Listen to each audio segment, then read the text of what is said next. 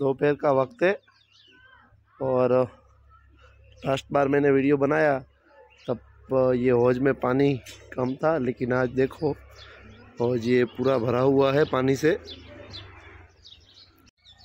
तो आज फिर एक बार हम ये, हमारी जो बफेलो है, वो पानी में नहाने के लिए आएगी। तो उसका वीडियो मैं बना रहा हूँ, ताकि इसमें उस दिन तो तैर सके उतना पानी नहीं था, लेकिन आज पूरा भरा है तो तैर सकेगी और हम देखेंगे कि उसको कैसा लगता है। ये हौज के अंदर आने का रास्ता है और फिर आज तो हौज देखो यहाँ तक भरा हुआ है। अभी समर की सीज़न भी स्टार्ट हो गई है तो उनको पानी में वैसे भी बहुत अच्छा लगता है। और जब ऐसा माहौल मिलेगा तो और भी अच्छा लगेगा।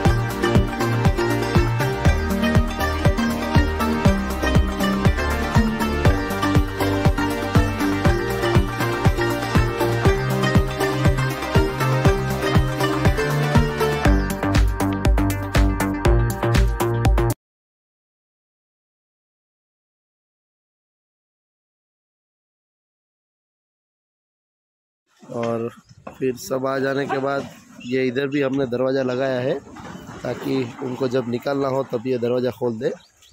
और अब ये दरवाज़ा बंद कर देंगे हम। बंद कर दे, दरवाज़ा बंद कर दे।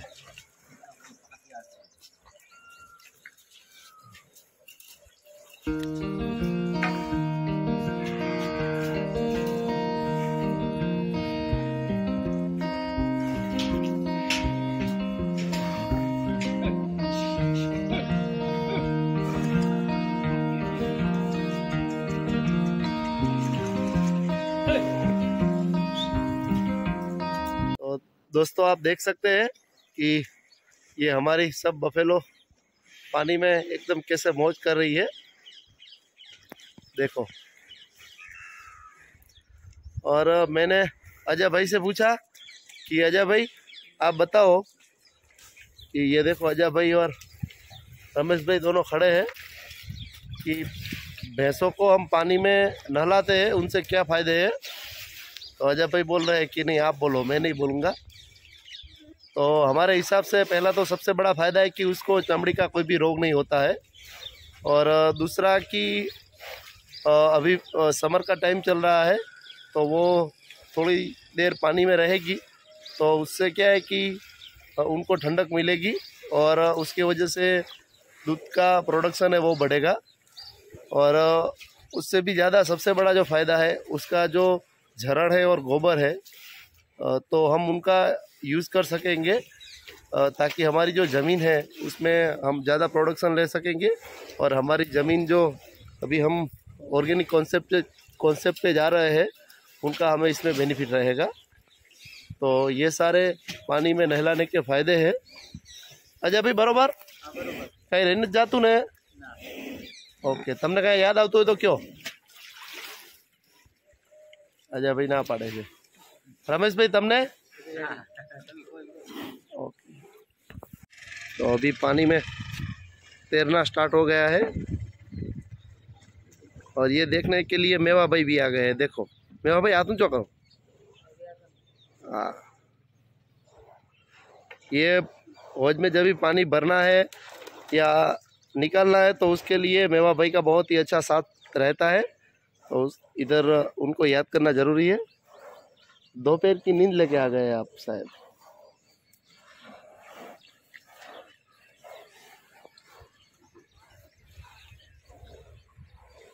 देखो, अभी सिर्फ़ भैंसों के मुँह ही दिख रहे हैं, इसलिए ऐसा लगता है कि इसमें बहुत ही कम है, लेकिन करीब पचपन से साठ भैंसें अभी इसमें तैर रही है और ना रही है।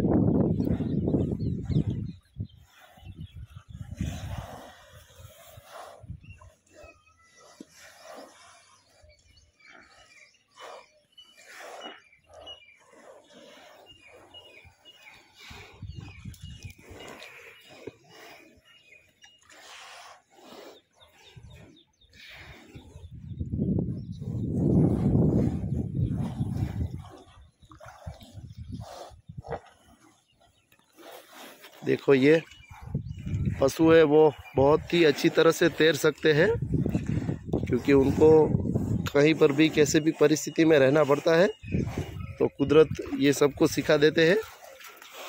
और हमें भी तैरना सीखना चाहिए, मुझे तो आता नहीं है, लेकिन आप में से किसको आता है, वो मुझे कमेंट में ज़रूर बताना।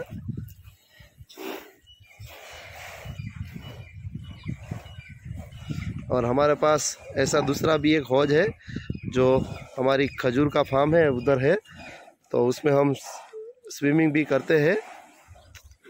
तो अगर किसी को तैरना नहीं आता है और आता है, और जिसको तैरना है या तैरना सीखना है, उनके लिए भी हम कुछ व्यवस्था कर सकेंगे। तो आप मुझे कमेंट करके ज़रूर बताना।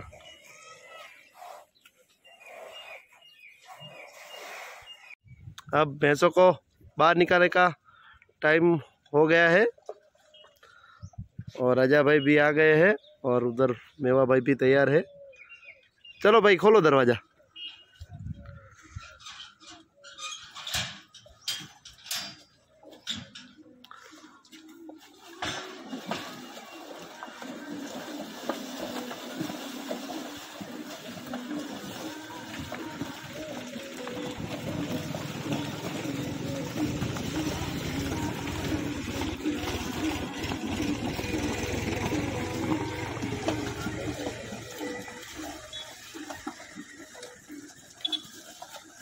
अपनी शरीर की सब गंदगी मौज में छोड़ के आ गई। सब भैंसे देखो, और दौड़ रही है। फ्रेश हो गई एकदम। ये जो कंक्रीट है, वो थोड़ा खरबचरा किया हुआ है। इसका बेनिफिट आप देख सकते हैं, वरना जैसे ही निकलती, एक तो पैर गीले होते और तुरंत ही गिर जाती। लेकिन देखो, एक भी गिर नहीं रही है और आराम से नीचे उतर सकती है। तो ये मेरे पापा की दूरंदर्शी की वजह से हो सका है। देखो, और तो बहुत मज़ा आ रही है, अंदर है उसको तो निकलने का नाम भी नहीं ले रही है।